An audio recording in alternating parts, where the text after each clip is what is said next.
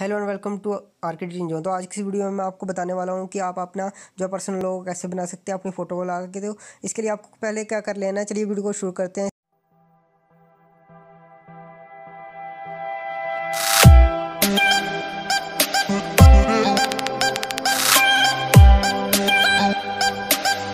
PicsArt को app को जो है ओपन कर लेना। है इसके बाद आपको जो है कुछ इस तरह का इंटरफेस दिखेगा। इस प्रोसेस को होने के बाद आपको जो प्लस आइकन दिखेगा, इसको क्लिक करना है और इसके बाद आपको क्या करना है? एक जो है बैकग्राउंड जो है सिलेक्ट कर लेना। है यहाँ हम एक कलर बैकग्राउंड सिलेक्ट कर लेंगे। ब्लैक कलर का इसके बाद आपको जो दिखेगा, आपको यहाँ क्या कर लेना है? एक ऐड के ऑप्शन से एक फ़ोटो क्लिक ऐड कर लेनी है। इस फ़ोटो का लिंक मैं आपको डिस्क्रिप्शन में दे दूँगा। तो आपको सिंपली वहाँ से जो है डाउनलोड कर लेनी है। देखिए दोस्तों, हम जो है फ़ोटो को ऐड कर लेते हैं। तो फ़ोटो आपको कुछ इस तरह ही दिखेगी। इसको ऐड करने के बाद आपको क्या करना है? एंड में जो सेकंड लास्ट ऑप्शन आपको दिखेगा शेप का इसको सिलेक्ट करना है। इसके बाद आपको जो है, इसके बाद आपको जो है सर्कल का ऑप्शन दिखेगा। इसको क्या करना है? आपको सिलेक्ट कर लेना है। इसको फुल स्क्रीन सिलेक्ट कर लेना है। हमारा जो है सर्कल सिलेक्ट हो चुका है। इसके बाद आपको डन कर देना है। डन करने के बाद आपको जो है इसकी थोड़ी सी आउटलाइनिंग करनी है। उसके बाद आपको सेव कर देना है। ये देखिए दोस्तों, हमारा जो है, ये बन चुका है। इसके बाद हम इसे ब्लैक बैकग्राउंड पे जो है सिलेक्ट कर लेंगे। इसे सिलेक्ट करने के बाद आपको फिर से डन कर देना है इसके बाद आपको क्या करना है, अपनी फ़ोटो को जो है सिलेक्ट कर लेना है। चलिए दोस्तों, हम ऐड के ऑप्शन से अपनी एक फ़ोटो ऐड कर लेते हैं। फ़ोटो ऐड करने के बाद आपको क्या करना है, फ़ोटो को करप्ट कर लेना है, क्योंकि हमारे, हमें फ़ोटो का जुड़ा है, जो है थोड़ा हिस्सा चाहिए तो इसके लिए हम जो है फ़ोटो को बड़ा कर लेंगे और इसका फिर कटआउट कर लेंगे। कटआउट करने के लिए कटआउट के ऑप्शन से आप इसे क्लिक कर सकते हो। इसके बाद आपको सिंपली जो है इसकी आउटलाइनिंग कर लेनी है। चलिए दोस्तों, हम इसकी आउटलाइनिंग जो है कर लेते हैं। कर लेने के बाद आपको थोड़ी प्रोसेस होगी और ये स्टिकर में जो है कन्वर्ट हो जाएगी और इसे आप इज़िली जो है अपनी सर्कल पर जो है लगा सकते हो। चलिए दोस्तों हम इसे थोड़ा सा जो बैकग्राउंड बच रहा है, हम इसे सिलेक्ट कर लेंगे। इसे कुछ इस तरह से सिलेक्ट करना है और एक्स्ट्रा जो है एरिया को जो है इरेज कर देना है। एक्स्ट्रा एरिया को जो है इरेज करने के बाद हम इसे जो है यहाँ सिलेक्ट कर लेंगे। इसके बाद आपको क्या करना पड़ेगा?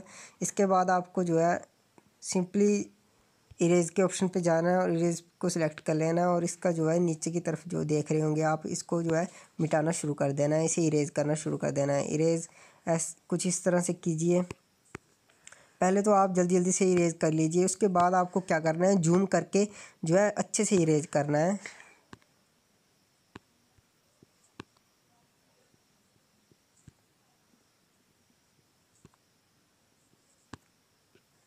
अच्छे से इरेज करने के बाद आपको इसकी सिंपली जो है डन कर देना है।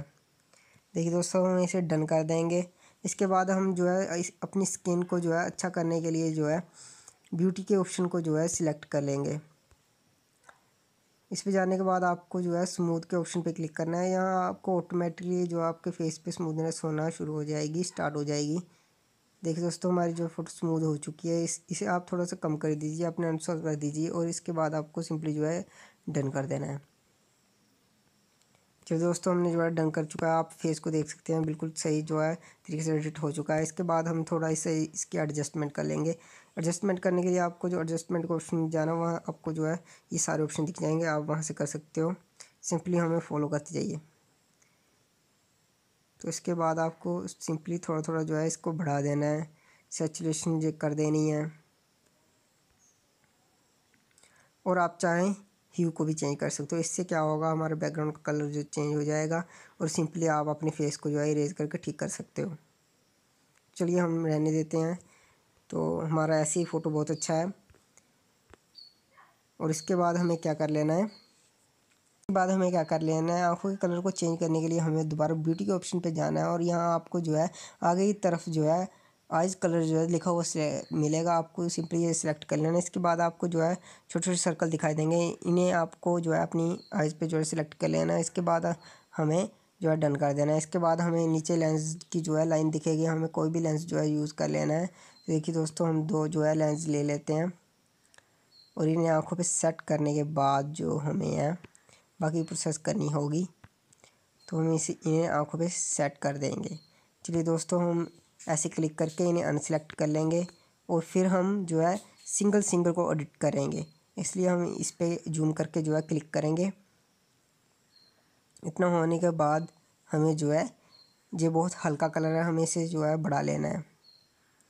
देखिए, इसके ऑप्शन को बढ़ा लेना है सेचुरेशन को बढ़ा लेना है। इसके बाद आपको क्या करना है? इरेज के ऑप्शन क्लिक करना है और हमें इसे थोड़ा सा इरेज कर देना है।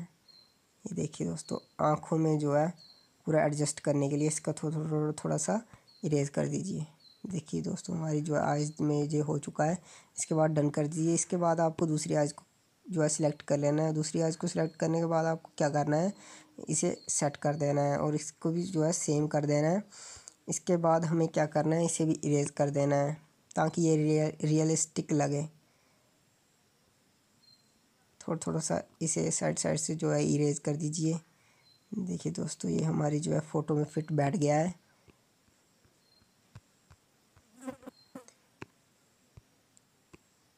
इसके बाद आप इनकी जो है सेचुरेशन भी बढ़ा सकते हो तो हम इनकी जो है सेचुरेशन जो है बढ़ा लेते हैं।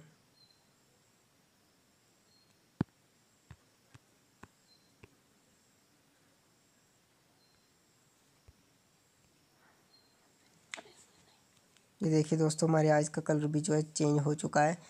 चलिए दोस्तों, मिलते हैं नेक्स्ट वीडियो आज की वीडियो में बस इतना ही। Okay bye